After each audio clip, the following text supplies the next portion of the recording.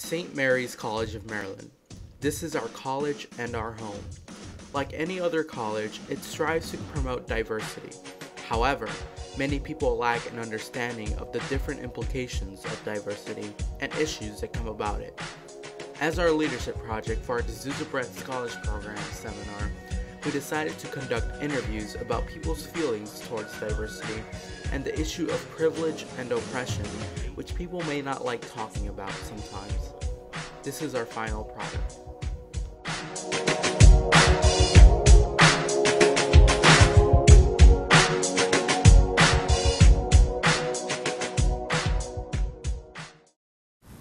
I have felt like a victim of privilege.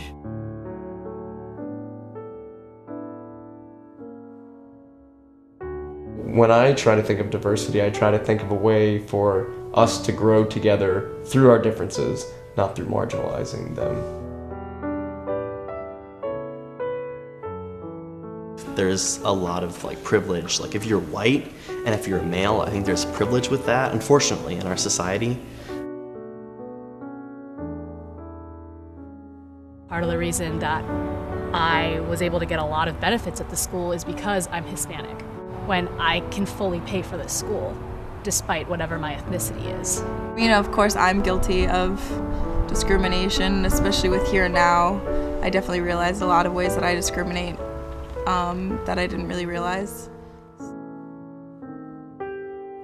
There's just things I don't have to think about because of my race. I'm Chinese, and from my background and from many Chinese culture, uh, we believe that um, it is the diversity that makes you really big and strong.